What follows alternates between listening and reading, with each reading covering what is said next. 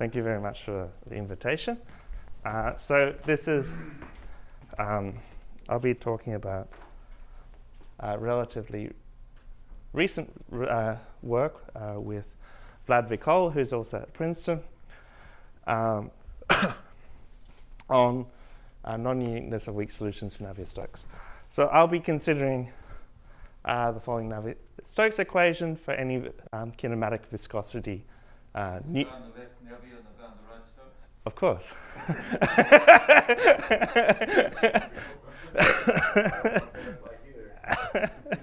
Otherwise, it wouldn't make. um, so, uh, kinematic viscosity, uh, any kinematic viscosity nu, and the v will be our velocity vector, and we'll consider the incompressible Navier-Stokes equation. Sorry? On, on periodic boundary conditions, yes. But that's not so important. Uh, so we have to define what we mean by a weak solution to the Navier-Stokes equations because there's many notions of weak solutions. Okay, so uh, what I mean by a weak solution is that if the velocity field is in, uh, say, continuous in time, L2 in, in space, and it satisfies the Navier-Stokes equation in a distributional sense, then we'll call it a weak solution. Uh, for these types of solutions, uh, we actually have, because it's continuous in time, we actually have that it satisfies an, uh, an integral equation. Okay. Strong would you mean? Uh, yes, yes. Strong. Strong. Yeah. Okay. And more. Just continuous in time, like not, not a weak I mean, continuity. Yeah. L2 norm goes to zero SS. goes Oh, Yeah. Yeah. Because you, you could have just Strong, the weak, strong topology. the Yes. strong topology. Yeah. You could be continuous in the weak topology of it. Not, not no, L2, not the weak in the sense of integrating further against another function. Yeah. So based on um, the natural scalings of the Navier-Stokes equation, there's a you know litany of results, and I won't go through all the results. Um, but in some of the results, so you have partial regularity results, um, which are you know were started by Scheffer, um, and then you have the famous also the famous Caffarelli Kohn Nirenberg result, which improves the previous work of Scheffer, and then the later works of Lin, Ladienchik, uh, Kaya, Ser- uh, Seregin, Vasseur, Kukavica. Um, and you also have local existence for, uh, Th- Those are upper bounds for the singular set. Yes. mean part. The Hausdorff dimen- uh, basically say the Hausdorff dimension is one of the singular set, or? i- so different ones. So I mean the different ones. So the the the yeah in, in the parabolic, that if you do parabolic Yeah. scaling, then it's it's one. Okay, that's that's uh, the Caffarelli Kohn Nirenberg. Yeah, yeah. But Result. The other ones are stronger, or what's that? Oh no no they're not strong. This one is the this one is the same. Uh, this one is box counting dimension. Oh, okay. And so I mean there's So just different notions. different notions of Dimension. yeah In some case, different proofs. different proofs yeah. of So, yeah. This Vasseur is the same is the same result, different proof. Um, so and then we have local existence for the, the Cauchy problem um, in, sca- in, in scaling invariant spaces. And uh, I'll talk a little bit about this Jia-Šverák result later. Uh, we have conditionally, conditional regularity. That is, if you have some extra assumption, say on the geometric structure, say in Constantin, um, in uh, Constantin and Fefferman, which they say that the, you know, the vorticity doesn't vary in direction uh, that much. Then, or you have that, uh, say, assigned pressure condition, you can also establish um, uniqueness. You also have these other arguments like conditional regularity, weak, strong uniqueness. You have all these La- Ladianchika uh, Prodi-Serrin conditions. For our particular setting that we're considering, uh, you have that if the solution is continuous in time and L3 in space, then you have that you have uniqueness for this particular setting. Okay. there's, so there's a different. You can also have, the, you know, similar results L infinity L3 if you have Leray-Hopf, but for we're not considering Leray-Hopf solutions. I'll talk about that later. But in our setting, if we just have L3 integrability and continuous in time, we get uniqueness. Then you get uniqueness of the weak solution? Yes. And you get regularity. It's smooth. Everything. automatically you get smoothness. Everything, yeah. Everything, everything else. What is on some existence? Sorry? And some existence in this L3 please? Uh, so, Does one know some existence? ah, does someone know? I mean, people know existence of the of, of, of these type of weak solutions that belong to these spaces. No, no. That would be a big problem. Like, if you had that, would that solve the question or not? Well, if you could show that, like, for any initial data that has this Yeah. uh, belongs in this, then you've solved the problem. But, but no. you just need a little bit of, But you don't, yeah, you don't generally, you, you can't generally even consider, you know, you can't generally also consider uh, construct sol- weak solutions in, the, in these sort of spaces as well. so the L two is not sufficient, but the L three is. The, the problem is the continuity, I think. Yeah.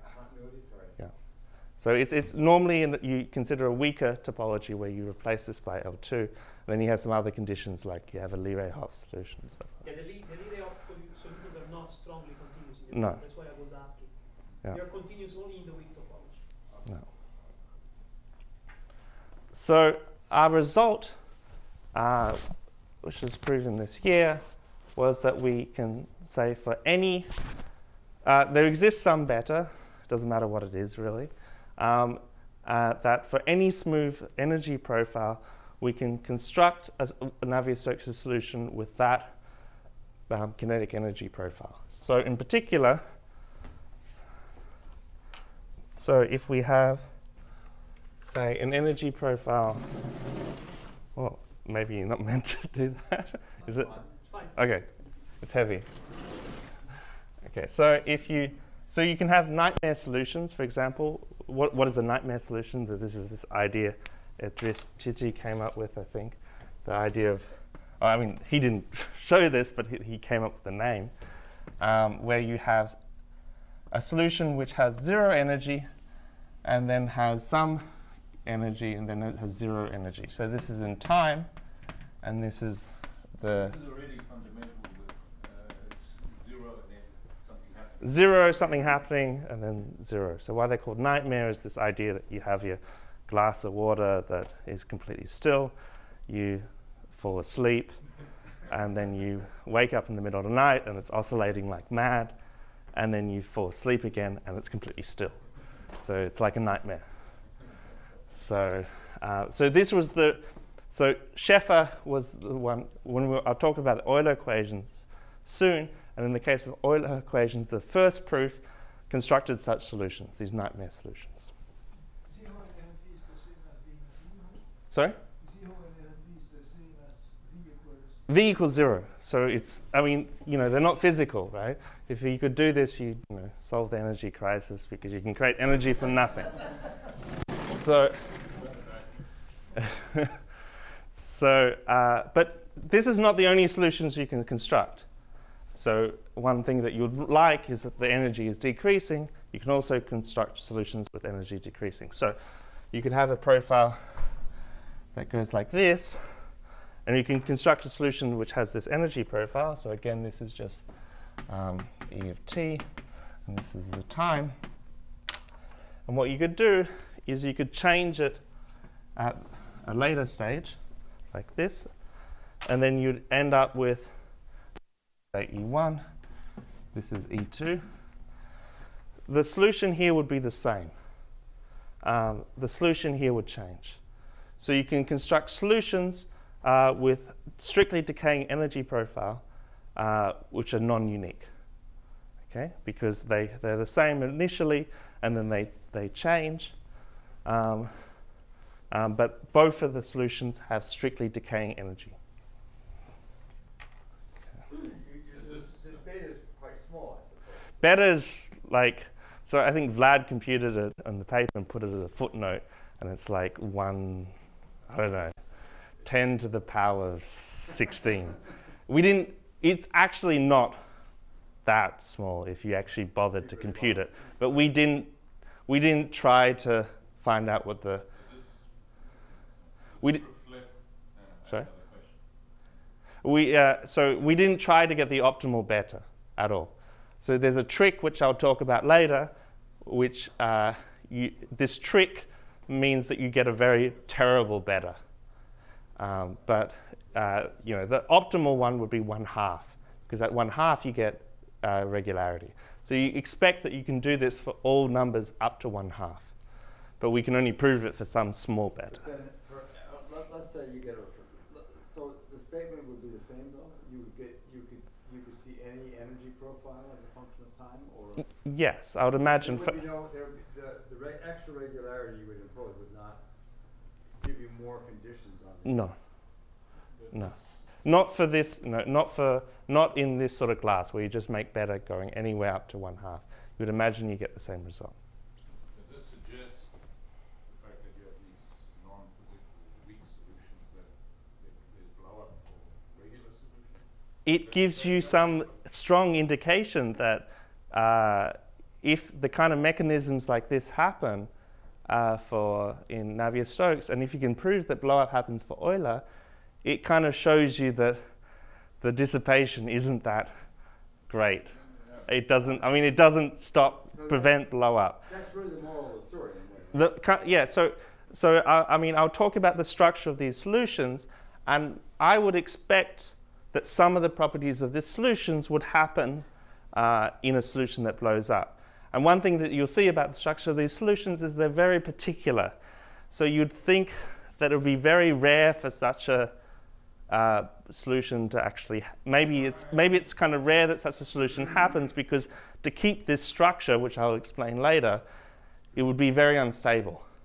Okay, but what, what's, it- am I right that somehow some people's philosophy is that Euler blows up and Navier-Stokes doesn't? Is that? That's uh, some people's philosophy, but it's not my philosophy. my philosophy both blows up. What, Is I it, think what it's- is the general belief? Physicists believe that. And Navier-Stokes doesn't, or I both think people blow have up? different beliefs. Yeah. Okay. Some people think, The subject is so poorly understood Yeah, but this would indicate they both blow but everyone actually people have every permutation. So some people think that Navier, Even- even- it's even possible that Navier-Stokes could blow up and Euler uh, doesn't. That sounds very unlikely, but that's, there are some people that have suggested something like that. What regularity do you need to speak of weak solutions? So what do I? What is the regularity needed to make sense of the notion of weak solutions? Just, just in just so in my talk, everything will be just continuous in time and L2 in space. That's all. Point is, you, I mean, uh, you, you go beyond the L two because you've got the. Oh, it gets it's better than this. You get the, you get the, you get the H beta. Sure. Small beta, but, but presumably the same thing works. so. Sure. So we actually get a yeah a stronger result than that. Um, and then as a corollary of this work, we have that uh, any if you have any solution weak solution to Euler, so something that I'll talk about later is you know, and Camillo is the resident expert in this room, uh, that uh, for for Euler we have uh, non-uniqueness. We have all sorts of things non-uniqueness, and one question is, one question we often got in talks was, can any of these solutions to Euler be constructed as an inviscid limit of Navier-Stokes?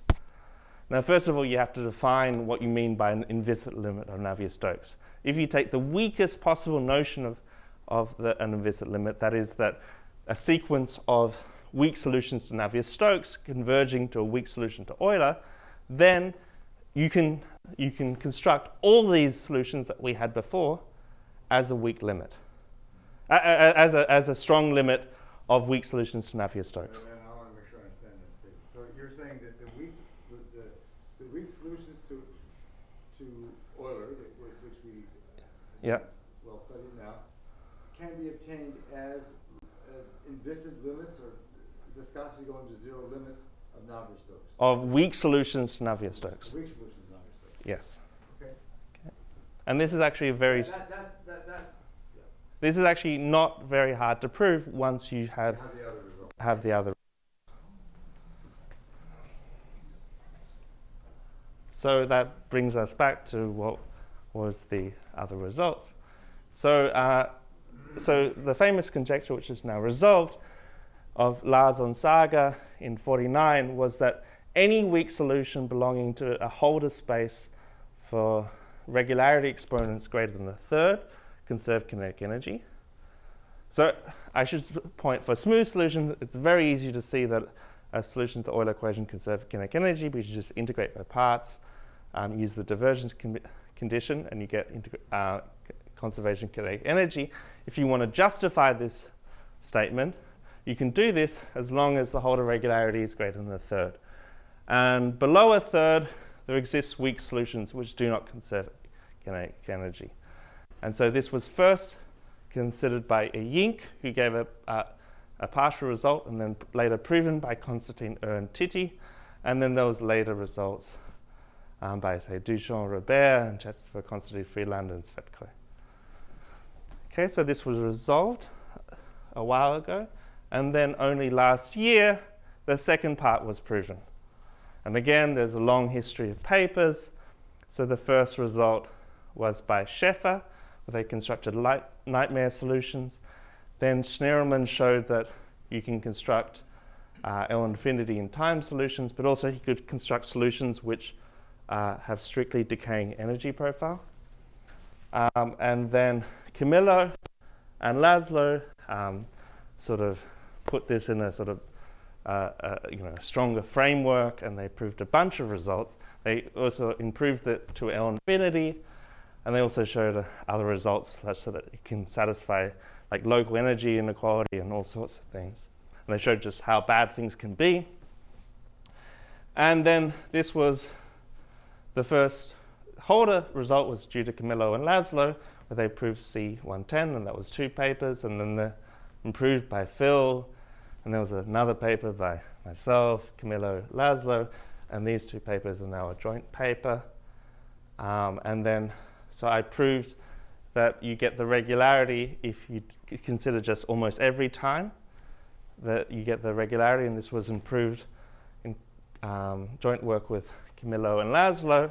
And then Phil finally proved last year that for any beta less than a third, there exists weak solutions to Euler equations with compact support and time. And I should have on this slide also that this used a result of, um, of Laszlo and uh, Sara Daneri, um, where they constructed the building blocks that was used in this, in this proof. So it's, it's C, it's, it's C one third in, ti- in space And time, and time. yes. Um, and then, uh, so we gave a shorter proof recently where we showed that you can also prescribe the energy profile. Well, I- uh, and, and then, well, maybe you're gonna say that next, but then if I work outside the, these, these, these holder classes, I work in the HS classes, Yes, that's the next slide. So one question is that can you go? Solution which is not zero. yeah. Yeah. yeah. um, but yeah, with yeah, compact support and time and non-zero, non-trivial. And uh, so it was a good question. Is that we, for a long time we thought we couldn't get past the one third. We thought one third was like a critical regularity, and we thought this was. We had no reason. We, we kind of had heuristics because our arguments didn't work. And it's a common thing is when the argument doesn't work, then you think that it can't be proven. And so Phil proved this result, and we were working on a similar thing with uh, Vlad and Nader, but we had only uh, Sobolev regularity. So we had a result where Sobolev regularity was one third, and then we thought, oh, well, this paper came out, and we thought, well, that's not that useful because it's a worse result than this. So we thought we'd better improve it. Uh, I think there's a question there. yes? For large beta, you know that it cannot happen that there is a compact supported time or do you? For Yeah. No. scalar Greater, than a greater greater than a third, you have conservation. conservation of energy. that's just TT. So this No. is, this- yeah, this is the constant. So Uh, it's sharp, that's what's uh, in there, but that's for the Euler. So the fight is only for one circle above the whole. Yeah, but now he's gonna change the space now I'm going to change the space. Oh, yeah, not quite. So uh, if we go back to the classical theory of turbulence, so I should also, so wh- what's the idea of, general idea of, general sort of picture you have in turbulence is that you have eddies at some scale, like this, and they break up into smaller eddies, like this,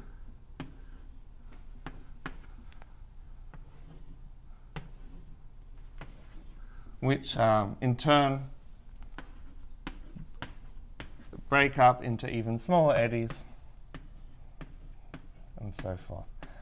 And what happens is they pass the energy on from the large eddies to the small energy, to the small eddies. And this is called the energy cascade. And this is the classical theory going back to G.R. Taylor and Richardson. And this was formalized by scaling arguments by Kolmogorov. And you can use the Kolmogorov argument or the or Onsager's argument to get the one third from scaling arguments, just using simple arguments of this. The sim- simple thing is that you have to assume that the time it takes for the energy to transfer to the next scale is roughly the time that takes to turn over. And then you assume, in addition, that energy doesn't dissipate, doesn't vanish at the inviscid limit, and then you can get these scaling exponents like one third. What also you get is you get something more, is if you write the structure functions, and this the notation I have here is that just uh, delta. So what do I say here?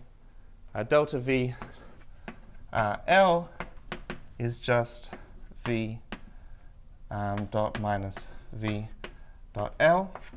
And These scaling arguments are they for uh, Navier-Stokes or for Euler, for anything?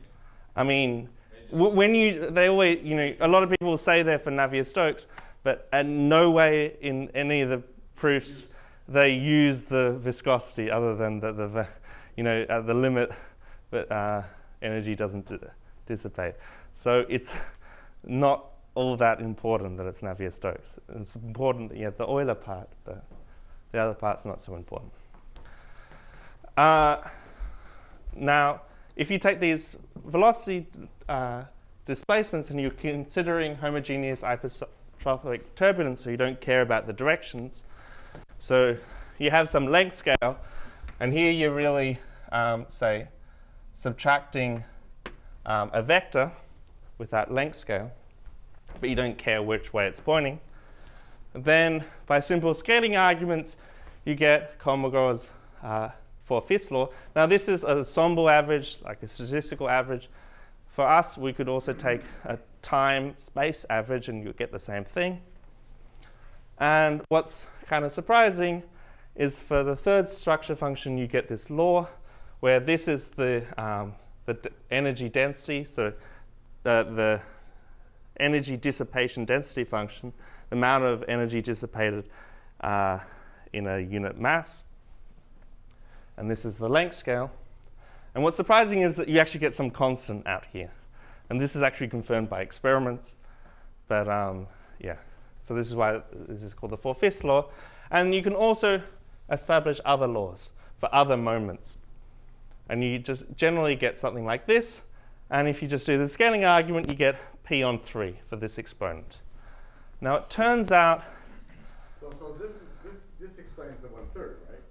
yes, yes, this explains what. The, the, the scaling just, ex- yeah, That- That's, that's why the third comes out. exactly. You get this uh, velocity gradient difference. Yeah. one and one third. Like, uh, yeah, uh, getting, You've already actually made the assumptions that get to this, which, which imply the one third, yes. so, yeah, of course, but, but Yeah. this is, this is, this, this law here, the, the, the S three law, Uh, this would imply one third, yes. yeah, but that's supposed to be exact, right? I mean, Well, it's not. no, no, the SP, no, but the S three, This one is meant to be that's exact. what I'm Yeah. because that's scaling. which is kind of funny with this four and five constant, supposed to be but it's meant to be exact, yeah. And it's very, by experiments, they actually get four on five as this number.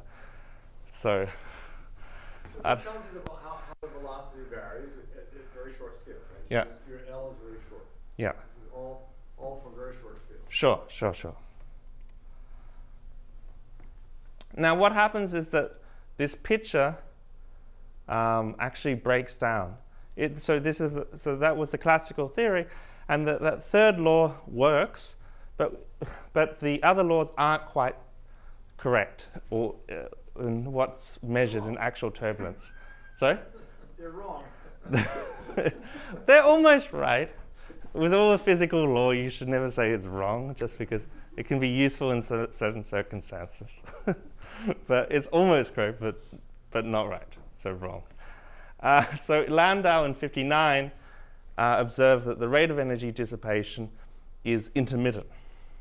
Now you can draw this picture with the energy in, uh, dissipation in, this could be a time slice, could actually be a, a spatial slice, it doesn't matter, it will look the same. Okay? You, the important thing is that you see these large peaks occurring. Those peaks are where the, are the times or positions where energy is, is lost. Yes. And so later you'll see a similar picture. Is this experiment? This is experiments. Numeric? Uh, both. I mean, this, this, okay, so this particular picture comes from Srinivasan, and he just had it on his, uh, on a slide, and I told him to send it to me. This is Srini, who's coming, he's Oh, coming yeah. here next, next, uh, Yeah, fall, but, uh, right? Remember I He told doesn't get into the laboratory. man. He- Oh, he did. We did, yeah, he did, yeah, yeah. and He does both. but we're not sure if this is the same picture as uh, as some other picture in one of his papers. It's very hard to see if these peaks look the same. It's all a mess. Even when they're statistically the same. And in the in the in the actual paper, he doesn't say what this actually is. He just says it could be either. So he says it looks the same, so it doesn't really matter. So in particular, for the second structure function, which is the which is related to Kolmogorov's spectrum, you expect a correction. So this is K41 theory, and these are the exponents here and the p here. And it's a straight line. And the result of Onsager's conjecture, or the result that Phil proved, he constructs solutions that behave roughly like K41 theory. 1941 Commodore. 1941, Okay, other numbers there have meaning. yes. Third, this one. Yeah. Two-thirds, 41. K41 is Kolmogorov 1941. It's the paper. Um, but in That's bet- the linear one, right? right that's just a linear line. The one right off the third? Yeah. But what actually what they observed is, well, these are different models. No one, there's a big argument in the physics literature of what the correct model is, and no one can, uh, no one can agree. And maybe it depends. There is no uniform model, maybe. But what something they agree is that it goes above the K41 line at for p less than three. It touches the line at p equals three, and then goes below. It's gotta be convex. Yes, it has to be convex, yeah. Um, so, so this leaves the question is, for example, uh, if you consider the, the spectrum, this is, this is larger than 2 on 3, which it should be. All these numbers are larger than 2 or 3. So can you construct solutions which actually have regularity greater than one third, uh, greater than one third for when you reduce the integrability. And so this is what we has been in preparation for a year and a half. Um, and we have, a, we have to finish this paper, but uh, uh, what we showed is that you can, yes, you can go above one third. This number is above one third because five on. I made a mistake on Camillo explaining this to Camillo before, but I got different numbers the wrong way around. I got numbers less than a third, which was a bit worrying. But this number is definitely greater than a third. great confidence in the rest of the but this is not sharp, okay? You can get energy conservation for 5.6. Maybe you can get all the way up to 5.6. I don't know. Um, but the only important thing is it's above one third. And to do this, we had to introduce a lot of new ideas that aren't in convex integration theory. So, I mean, there's some ideas uh, in the previous papers by myself and the paper joint work with uh, Laszlo and Camillo, where we got some gain from integrating in time. But this is this is really yeah, there's, yeah, there's, this is this is really using the idea of intermittency in convex integration. And so I don't think this is, or this hasn't been done before. So How do you use intermittency? I mean, I- I We'll see. not on the talk, but, uh, Can you say in a word how you're gonna use? I- we need objects, we need building blocks, which building blocks which have which have peaks that look like that picture. constructing them. We're constructing them, so we want it to look like that picture we had before. So that's the It's not homogeneous in every sense. no, can't be. no, no, no. So. I see that, Okay. So how, how does it work? So the basic idea is that you have a convex, you have this uh, Navier-Stokes uh, Reynolds system, and in this audience, I'm allowed to call this the Reynolds stress. Uh, some audiences, I'm not. Uh, anyway, so the so the how how you get how this sort of equation naturally arises is say you take a solution to the Navier-Stokes equation and you average it at a length scale then you'll get a Reynolds error.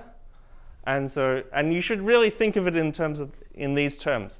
So in this convex integration, So now you're gonna explain how you get these. This is- Sure. This is the scheme for. for- this is just the general This is the scheme for producing these weak solutions. yes. Right. So we create a sequence of approximate solutions with an error, um, which will converge to a real solution. And you should think of the approximate solutions to be roughly the final solution averaged at a given length scale. That's roughly what they are. It's not exactly, but roughly what they are. So, uh, so you have it, it, works by induction. So you have a solution to the to uh, at one stage q, and you want to create a correction to the velocity field, which creates a new solution with smaller Reynolds error. And so you, you create the perturbation, which we'll call W. Uh, you design it in, or- in order, so you'll get a new solution. And the idea is that, that you have a small Reynolds error. Then if you write this, yes? So why, why is this called convex integration? so it had much more so back in back when uh, so in Camillo's and Laszlo's earlier work where they're really using more stuff which is more in the line with Gromov uh, you had you had it, it really made sense because you had like the idea of a sub-solution and you took a convex hull and then you you proved it. But the thing is so I this is how I say it. I don't know. You can tell me. When they had the the the papers the C C0 and the uh, one uh, one tenth result, they tried to model it more in the line of Nash, which is like the original paper uh, uh, with a C1 uh, the C1 embedding thing. And so it wasn't called convex integration there. Convex integration came from Gromov. But this is more like The Nash. the Nash. This looks like So it sh- maybe it should be called Nash iteration, but we can't change that anymore. So I don't know if that's fair. Do you agree with that, Yeah, it's kind of fair. Well, anyway, so it's, so convexity is playing an assumption. So the basic, even even here at this level, if, if you're averaging, that R circle Yeah. will satisfy a basic inequality, which is telling you, for instance, what the energy could be, I see. right? So Yeah. when you're constructing, for instance, with an energy profile, you know you can also, also only achieve a certain type of energy, and the inequality that you get is a Jensen's inequality on some convex function. So, so the see. convexity is see. So there that's why- that's even at this level. I mean, Yeah. of course. But it plays more. On, it's not. A, it doesn't play as so, as right. a. I mean, even a key short, result. uh, uh, you start from a short embedding, Yeah. and a short embedding is just Sure. a relaxation of uh, Yeah. true embeddings, Mhm. true isometric embeddings, Yeah. and the shortness is again a Jensen's inequality, it's a convexity I see. inequality. The convexity is there. Now, Okay. Yeah, that helps explain. That Yeah. yeah. Yeah. No, a friend of mine actually says we call it convex integration because we could cite Gromov, and then it sounds better. But Citing Nash is also is, is a good way to sell I things as well. This is a nasty remark of a of us. Okay, so if you if you have say a solution to this equation and you sub in this substitute in the equation that VQ solves, you get the, the- an equation for the Reynolds stress. Um, and I'm splitting it into two lines. Uh, so one, this bottom line is dealt with in, uh, in much the same way that previous schemes worked, and the top line is dealt very differently. The most important things, of course, is this uh, viscosity term that wasn't there before. Okay, and I'll call this the linear term, this was called the quadratic term, and this is the oscillation term.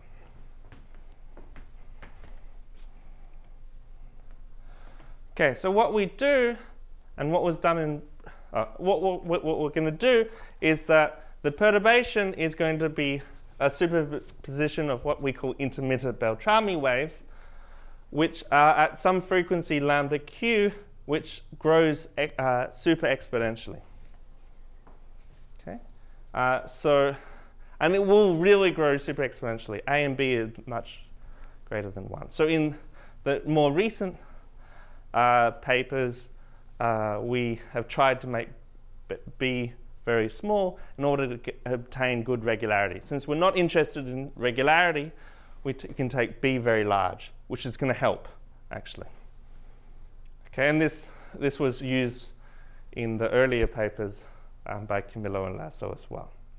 So the perturbation will be of some form where we have some amplitude, which depends on the previous Reynolds stress, and these intermittent Beltrami waves.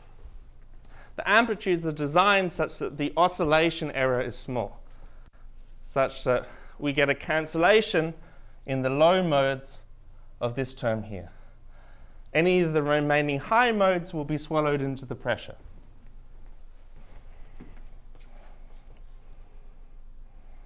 Okay, so and just from scaling, you see that the Reynolds stress. If you if you say that the uh, I should have done it the other way around. If uh, if you assume that the perturbation is roughly lambda q to the minus beta, so minus beta is your beta is your regularity exponent, then you get the Reynolds stress has to be uh, q plus 1 to the minus 2 beta. That's an order, it must scale like this for you, for you to have a hope that the oscillation error, which is this quadratic term, can cancel the low modes of the Reynolds stress error. You haven't chosen the A's yet, right? I haven't chosen A's, but this is an algebraic thing, and this was in all the earlier work. Uh, you, you- the A's has nothing to. I'll, I'll explain where the viscosity comes in, but it's not to do with A. So, if I so in all the older schemes, the idea was that you have a set number of frequencies. So this is frequency space. And this is, say, the old scheme. Um, what you would have is that the, the conjugate frequencies would interact in order to, so this is, say, frequency lambda q. Uh, These are plane waves. Plane waves? Plane Integer waves.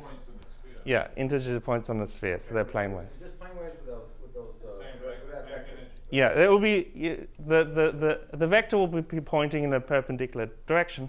In fact, you'll be taking so in the old method, what you did is that this you took Beltrami waves, which are eigenfunctions of the curl operator. So you could imagine just like a uh, a vector which is oscillating, say, forward, and it's it's pointing like this and twirling around. Okay. Yeah, yeah. Um, but in frequency space, I mean, they have a you know vector, they have a vector associated with it. Um, but if you just look at the frequencies, what will happen is these high, these two conjugate frequencies will interact and produce a low frequency, and then the amplitudes are chosen to cancel the Reynolds stress error. So the RQ lives inside here. Okay, so you choose this will create a zero frequency. Then by adding on the amplitude, then you can correct this Reynolds stress error. That was the old sort of idea. Okay. How much time do I have? Uh, We, we usually go to three. Okay, great. So, uh, so yeah, so so this is a particular example of the Beltrami waves. So they're stationary solutions to the Euler equation, um, which is a simple calculation. You can show that um, if you take the divergence of v tensor v, you get a term, you get a gradient term. So we're going to model, we're going to change this. We're not going to use exactly Beltrami waves. We're going to use this new object called intermittent Beltrami waves. Now this is the old scheme. Is this intermittency related to the intermittency we were talking about earlier? The, the Yes. Picture of Srinivas or? Yes, although it'll be more regular because it's more constructed, but, but it's related.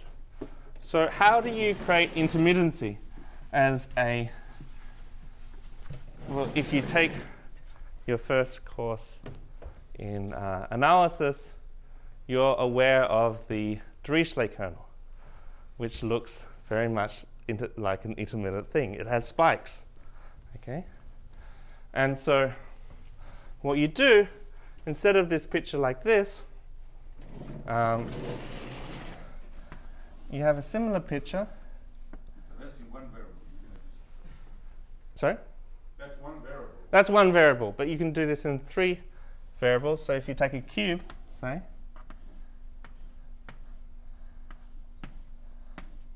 of frequencies,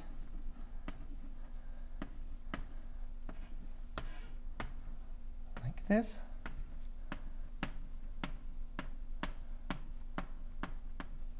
etc. So your frequencies are all simply on the integers because you're on a torus? Yes, yes. Um, so you take a cube of frequencies. Now, I'll explain later, but this, this gap here has to be much larger than lambda q. I'll explain why. So again, this, this is roughly lambda q plus 1. Okay. And what happens is that the, the exact conjugate frequencies will interact to cancel. The ones that are not exactly conjugate will not interact. They'll be put into the pressure. And this is also a great simplification in the case of Navier-Stokes, which you cannot do in the case of when you want uh, regular solutions. Like in, in the case of Nader, we're not going to do, we have to do something much more complicated with Nader and Vlad. But in this case, um, so this is what the picture should look like, and you expect to have them very peaky. And what this means is that the L2 norm is much is is if you normalize the L2 norm to be one, then the L1 norm will be very small, roughly the square root of the number of frequencies. Okay, and you can get rid of the log by replacing a Dirichlet kernel by a Fejér kernel, or whatever regularization of it. That's not important for this. Uh, so if uh, so each so each uh, each Beltrami wave will be made up of lambda q plus 1 divided by lambda q frequencies to the power of some p. Now, why is it lambda q plus 1 divided by lambda q? It's divided by lambda q because the gap between the frequency has to be greater than lambda q, which I haven't explained yet why that's the case, but you need this. Okay? And the lambda q plus 1 comes from the fact that you have that the comes from the radius. Okay, so you roughly expect there to be lambda q plus 1 divided by lambda q to the power of 3 number of frequencies. You have to take something less than that, but you can, you can take something arbitrary less than 3. Okay? Uh, and you, you need to take something more than 2, which I'll explain briefly. And this is partly, this is the reason why this argument does not work in two dimensions. In two dimensions, you don't have enough space in frequency space in order, you don't have enough oscillations in order to cancel it, which is good because Navier-Stokes is not, you can't have such a result for Navier-Stokes in 2D. Okay. There's room to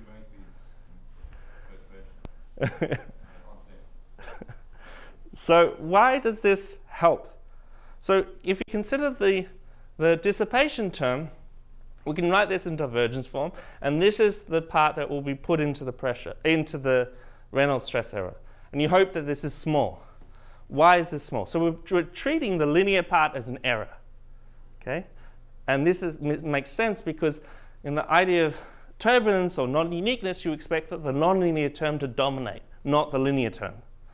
Okay, so you put it in a regime that's the nonlinear term dominates the linear term, and the linear term is an error. So this, so you take this term and you want to estimate how big this is. You estimate, you have to remember that the, the perturbation is measured in L2, the Reynolds stress is measured in L1, just from scaling.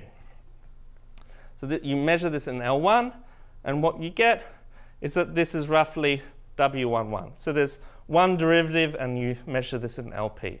The one derivative costs lambda q plus 1, because you're at frequency lambda q plus 1.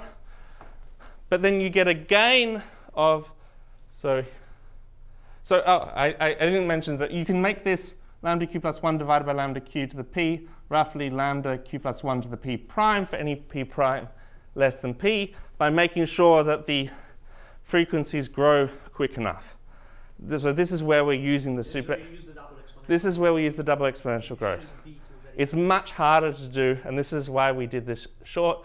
We, we had planned to do this the other where, uh, where we couldn't do this, but it's, it's very hard to do that. And this is why this paper uh, came out before the paper with Nader, Vlad, and um, myself.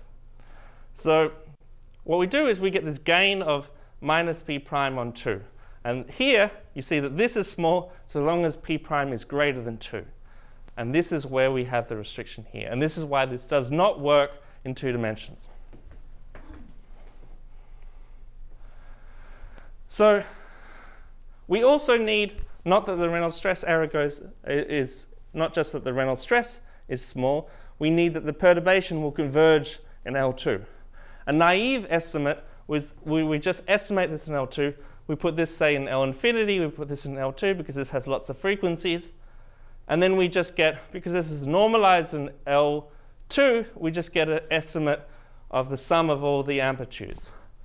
But this is terrible because this scales like the L infinity norm of RQ to the half, which we don't have control over. We only have control of the L1 norm. So we can't do this naive estimate.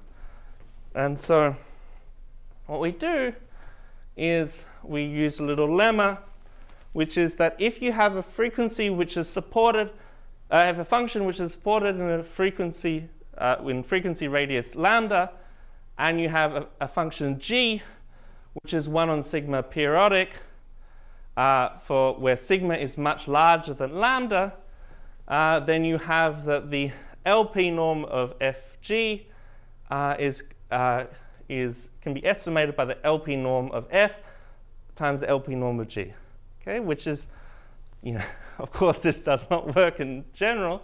So, the, so this allows you uh, to get a much better estimate because now you don't have to put this in L infinity, you can put this in L2 as well. And this is correct because this has the right scaling and you get convergence. So this is a nice little trick. I've, I've, this is, I think I'll set as a exercise and if I teach analysis.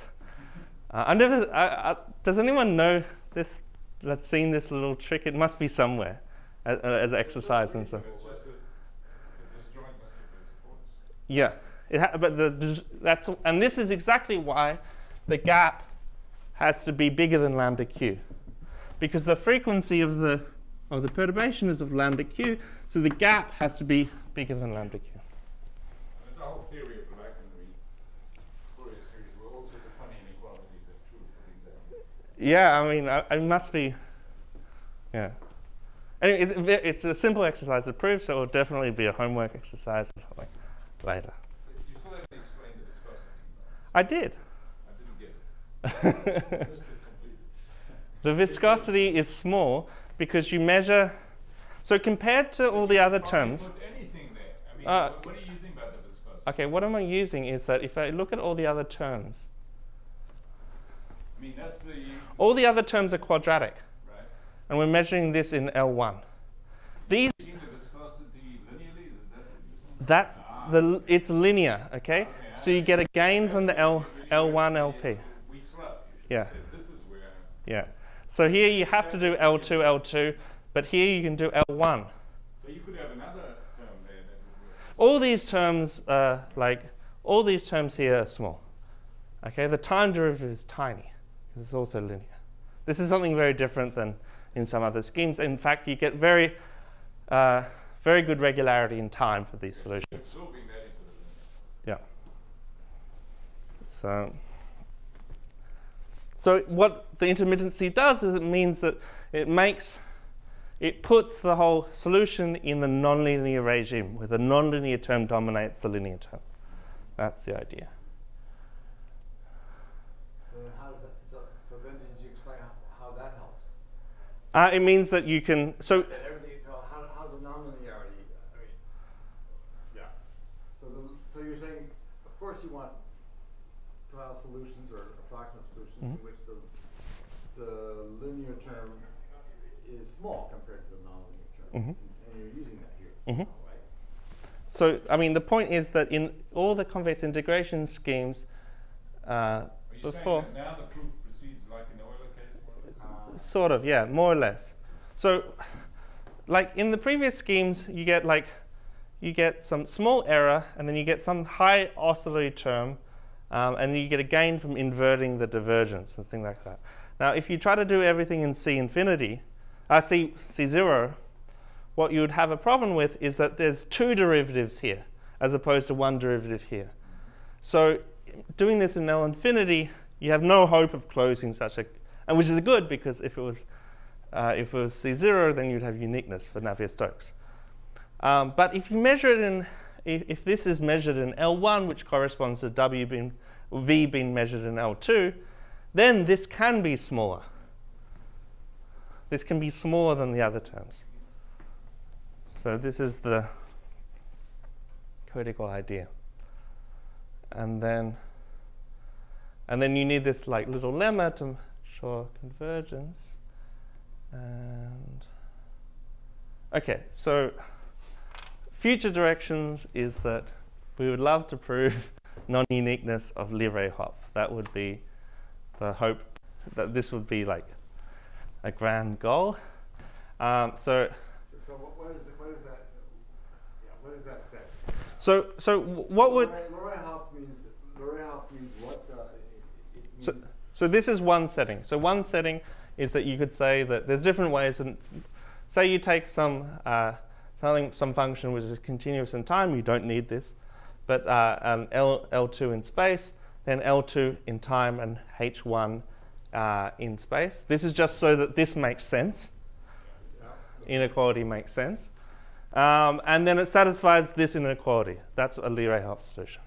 So this is only with the initial time. Uh, this is the this is only with the initial time. There's other versions where The you version is when you also taking later. time. exactly. There's other versions. This solution, in principle, does not have to be Uh, in any in any region of time. this solution still has to be smooth. No, the the result is assuming that you have the inequality also for every. I mean, you have to substitute zero with almost every later time t. Is that true? Yeah, because he's at least the way he proves it, he's showing you that if you are h1, you have a smooth solution, Mm-hmm. and then he's using the weak strong uniqueness. Mm-hmm. But to use the weak strong uniqueness for that small amount of time that the classical solution exists, you need the energy inequality from that time, Okay. as far as I understand his proof. So I think if you only assume that, I Okay, that's how I'll have to check. Yeah. yeah. That, that- uh, okay, so at least the proof that I know is using substantially that you have uh, not only the Not just the- arrival time, but yeah. you have also the starting time that you Mhm. can change. Because Makes he's sense. using the weak strong uniqueness even later on when Yeah. he has a classical solution. So now if there is another way of proving it, that I don't know. But the only way I know is using um, something different from T. Okay. Well, But that still, yeah. Still, anyway, non-uniqueness even under that assumption would Yeah. be very surprising. yeah. This is the weakest version of the, and this would be. This is still very hard. So one expects non-unique solutions to this equation? Uh, one, we, we expect. How much trust you should put on us is another question. but it's These would be sol- so- so these would be solutions in which you would see some dissipation, right? You would only. you, you you have to have you have to have dissipation. It's enforced, yeah. can you read for us and explain what uh, Šverák does? Ah, yes. So, so uh, Jia and Šverák, uh, Hao Jia and uh, Vladimir Šverák uh, presented a possibility of constructing non-uniqueness of Leray-Hopf solutions if some spectral assumption can hold. They have to they have some linear operator and they have some um, assumption about the eigenvalues of this operator. Th- they have numerical evidence to show that it can be satisfied. So this is a recent work with Guillod and uh, Šverák. They provided numerical evidence that this. I mean, so I remember Vladimir presenting this in 2013, and he said that it would be done in six. You know, in a, it, it was it was a really easy thing, and it should be done. And we thought this is great, um, but we're still waiting on a proof.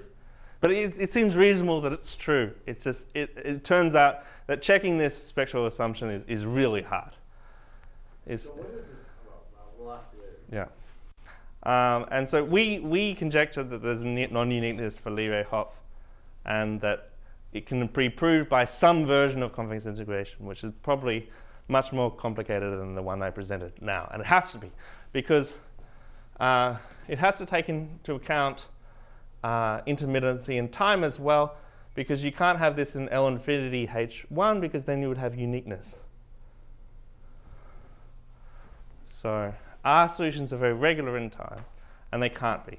They have to be not smooth. And so, um, a so a recent result by Camillo uh, Colombo um, and De, La- uh, De Rosa uh, was that they can construct uh, Leray-Hopf solutions if you have a weaker, like a fractional Laplacian. But this is for S one fifth, so this is so there's quite a long way to go from one fifth to one. So there's some, yeah. Yeah, you can actually do one over three. I mean, Oh, one of, okay. yeah, well, not in that paper, but but uh, De Rosa is actually working out the one over three. Okay, so it can go to one on three. But th- that's kind of less surprising because Yeah. it's below the Onsager threshold anyway. So since you are contrast constructing Hölder solutions, you can imagine you. you should Sure. It's it's more in the framework of the, Yeah. the of the re, of the previous work on Onsager. It, it doesn't use intermittency Right. That actually has the energy inequality for every times. for every time. Yeah. So. Questions. We had a lot, so. Unless there's some immediate questions, maybe we should, uh, see what time it, yes? Time to give you a hearty thanks. Thank you.